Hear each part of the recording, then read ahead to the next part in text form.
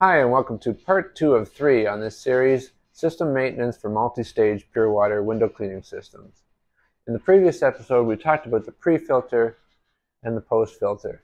And just to recap, the pre-filter is usually a combined carbon and sediment filter, such as you see on this system here, as well as the Xero Revolution Max. Or some systems may even actually have a separate uh, sediment filter and a separate carbon filter. And the role of the pre-filter for the sediment is to uh, block any physical particles, any foreign particles that might be floating around in a hose line or, or in the plumbing, the customer's plumbing line.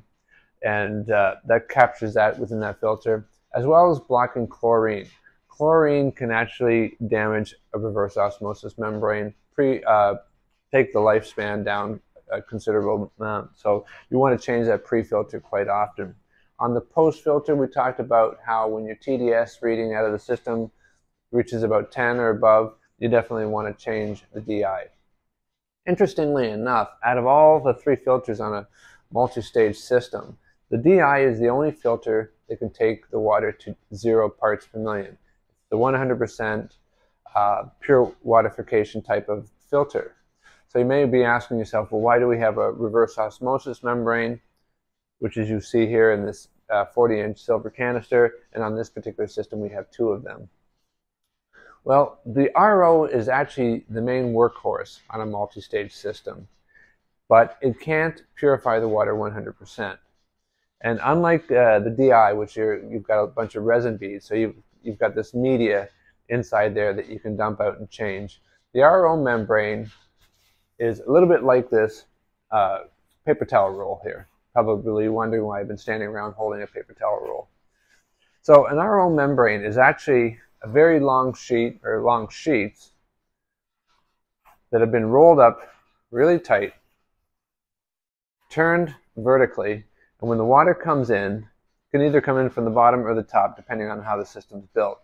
But it pushes through all these rolls and wrapped membrane.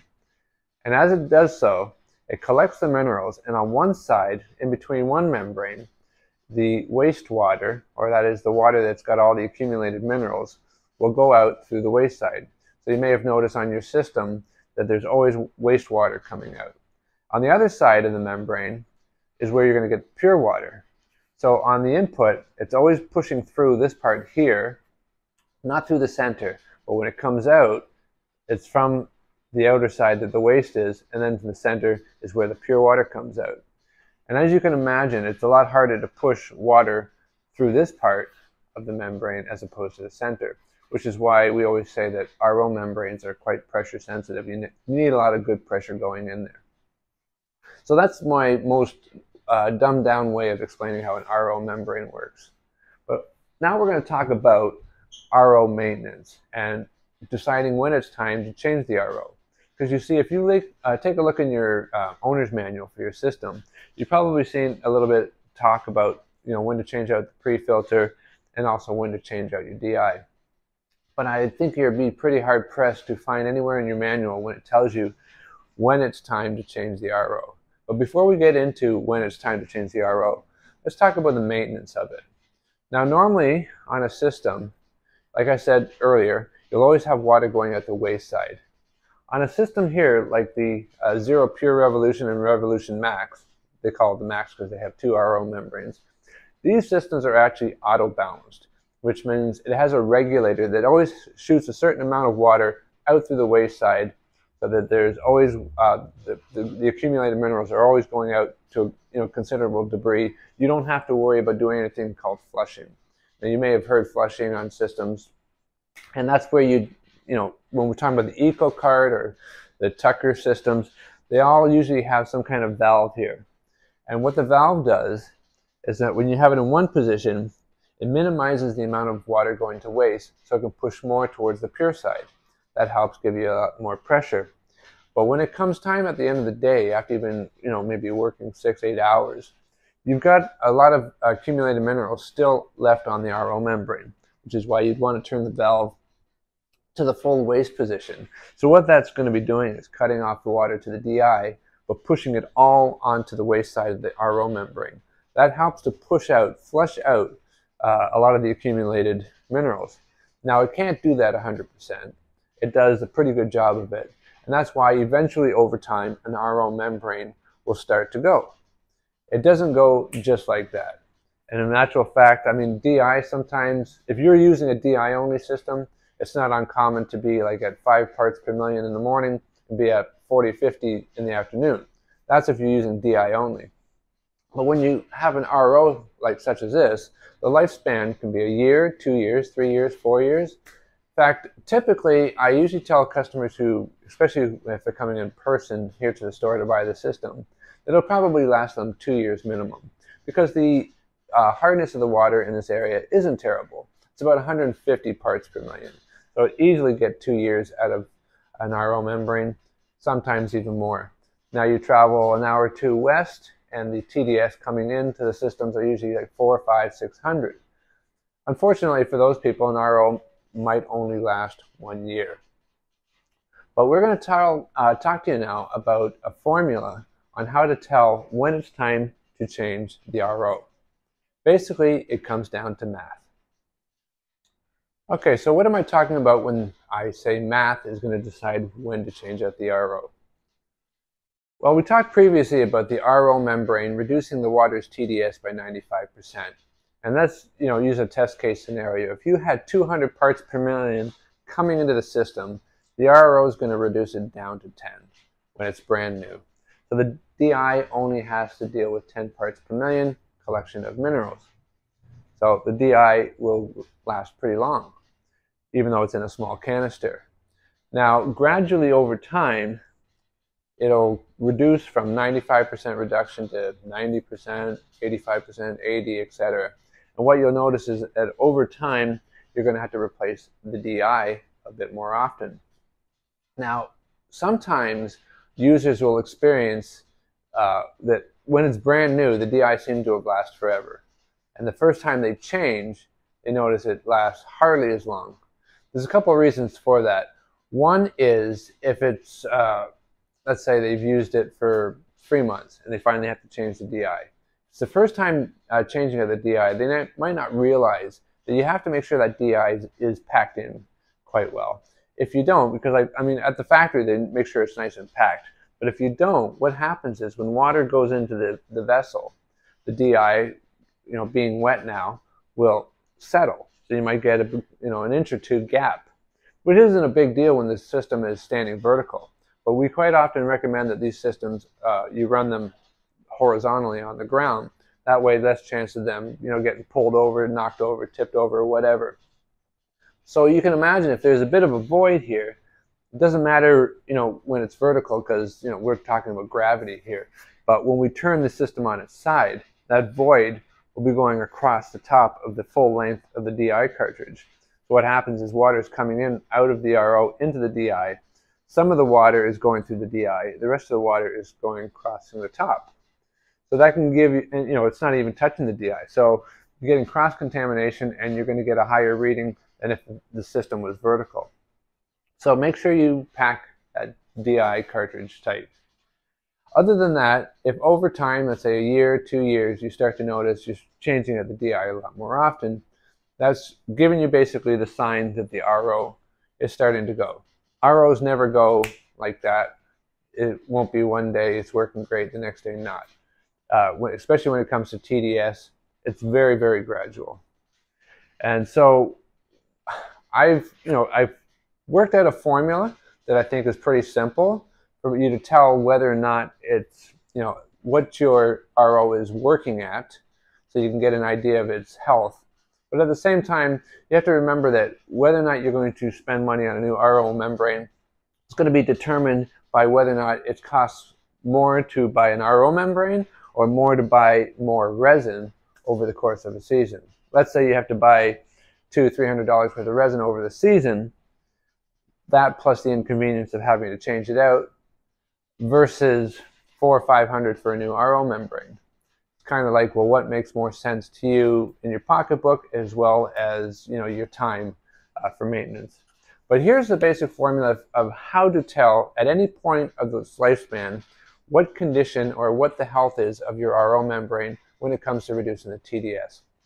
So we're going to use a case test case scenario of Toronto area water and the system being brand new. So in the Toronto area, we usually have on average about 150 parts per million coming into the system. Coming, so in other words, coming out of the customer's tap. Now, you'll notice uh, on any system that has a DI canister that there's a hose that's going into the input of the DI. So here it is here. I've already pulled it out. Here it is on the Xero Max system. I've pulled this out for a particular reason. This hose is actually what's coming out of the RO membrane on this system. So we can tell by measuring the TDS of this particular water what is, you know, how much this is reducing the TDS from what's coming into the system. Okay? You can do the same thing there. You just pull it out. It's just a push fitting. Just pull back the blue collar, pull the hose out. So we'll just leave this out here like that. So again, our test scenario, if in Toronto we have 150 parts per million coming in, that's what we're measuring from the customer's tap. And we measure what's coming out of that hose, and this system is brand new, it should be around six parts per million. And that's a 95% reduction from 150. And here's how we tell that it's a 95% reduction. We take our 150 incoming source water, we measure the water out of the RO, which was 6, we subtract that, gives us 144. We now take that 144 and we divide it by the incoming TDS level. It gives us 0.96. Actually, I said 95%. In this particular case, it's 96. We times that by 100, gives us 96%. So again, 150 coming in, 6 coming out, 150 minus 6 equals 144. 144 divided by the incoming gives you 0.96 times 100 equals 96%. So this is a brand new RO membrane and is performing as such. So in this particular case, you know, we've got long life ahead of us, but your situation might be different. You may have much higher TDS going in, or you may have uh, had your system for a couple of years and you suspect that you may need to change out the RO. So we're going to do another scenario. In this scenario, in this particular person's uh, locale, they have 230 coming out of the tap on average. So if they take the measurement of the tap and it reads 230, and there's 46 coming out of that hose that's going into the input of the DI, is 46, so we take 230 minus one, uh, sorry, minus 46. That gives us 184. 184 divided by the incoming TDS equals 0.8 times it by 100 equals 80%. So at 80%, this person is probably finding that they're changing at the DI maybe every two to three weeks.